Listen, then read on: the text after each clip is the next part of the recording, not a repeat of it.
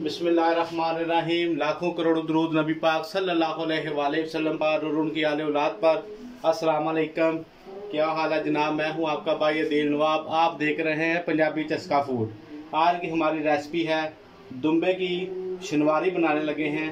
तो उसी की रेसिपी जो है वो, उसके लिए जो हमें चाहिए, मेन चीज़ जो दुम्बे की होती है, चर्बी, वो चाहिए, वो मेरे पास मौजूद थी तो इसलिए मैंने सोचा कि आपके साथ शेयर कर दूँ।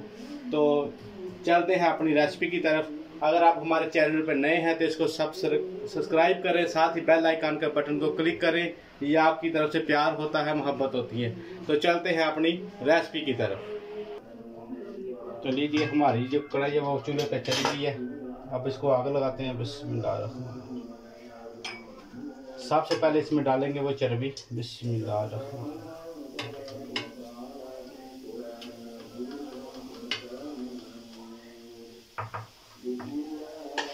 इसके अंदर आयल का इस्तेमाल नहीं हम करेंगे, इसी चर्बी के हम अंदर इसको बनाएँगे।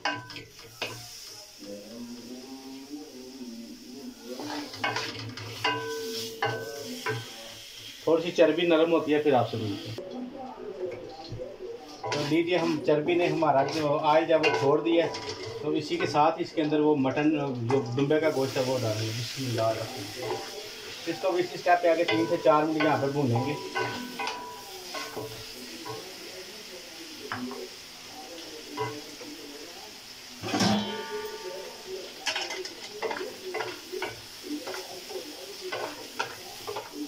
ये बहुत ही मज़े की बनती है, कोई एक्स्ट्रा मसाला नहीं जाता, सिर्फ़ नमक और काली मिर्च और हरी मिर्च जाएगी, ठीक है? तो इसी स्टेप पे आगे, साथ ही इसमें हम डालेंगे डेढ़ टेबल स्पून अदरक और लहसुन का, जो कूट के मैंने रखा था, वो डालेंगे।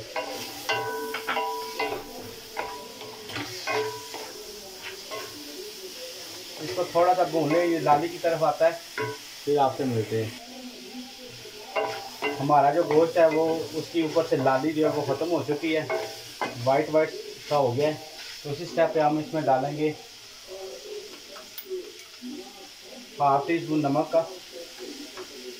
काली मिर्च जो जाएगी वो सिर्फ़ हैंड पे जाएगी। तो साथ ही टमाटर डाल के चार मेरे पास साबुत टमाटर मैंने डाले इसका छिलका मैंने पहले ही उतार दिया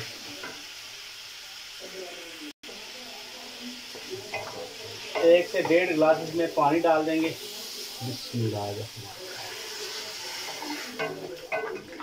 तो इसको हल्की आँच पे दम लगा देंगे। पहले जब इसका बॉयल आएगा, ठीक है, उसके बाद इसको हल्की आँच पे दम लगा देंगे।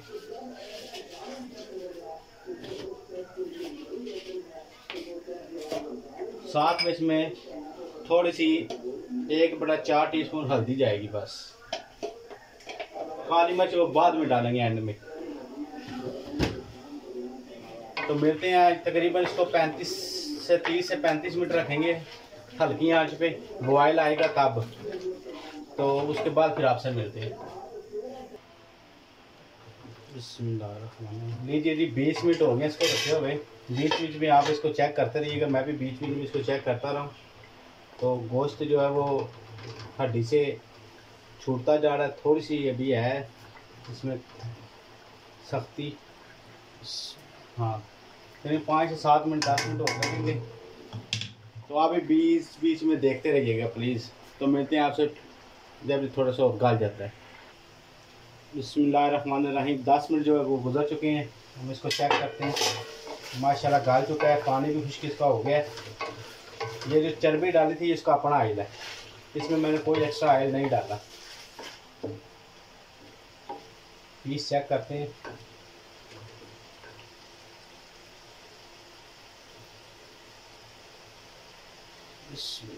बिल्कुल गाल चुके।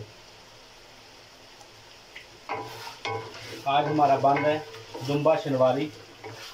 आप भी घर में ज़रूर ट्राई कीजिएगा इन आप बकरे के गोश्त का बना सकते हैं शनवारी। तो उसके लिए भी आपको बकरे की चर्बी लेनी पड़ेगी।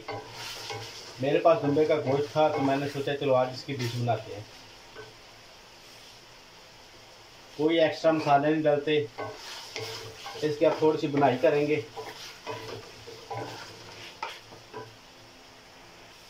हमारा जो गोश्त है, वो बिल्कुल भून चुका है। इस स्टेप पे आगे हम इसमें हाफ़ टी स्पून काली मिर्च डालेंगे।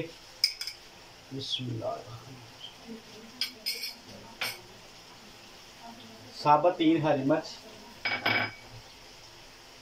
अदरक, हरी मिर्च और धनिया। सौ ग्राम दही। बिस्मिल्लाह। इसको मैंने फेंट लिया था, इसकी फुटकड़ी मैंने ख़त्म कर ली है। मज़ीद इसको चार से पाँच मिनट भूनेंगे इसी दही के अंदर।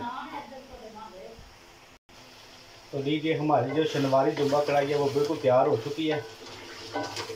इतना प्यारा कलर है इसका। भी डाला। किसी ने अपना खुद ही छोड़ा, वो चर्बी जो डाली थी। अब हम इसको डिश आउट करेंगे। बिस्मिल्लाह। हरी मिर्च डाली थी खूबसूरती के लिए।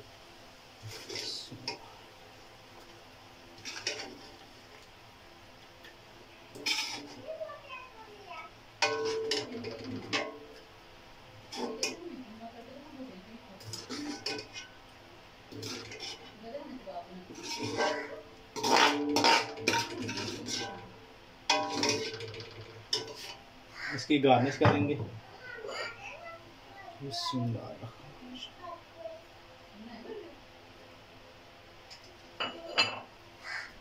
माशाल्लाह, देखिए जी, कितना प्यारा कलर आया ये देखिए जी, माशाल्लाह। और सारा घी जो है, ये इसने अपना छोड़ा है हमने, इसमें कुकिंग आया, बिल्कुल नहीं डाला।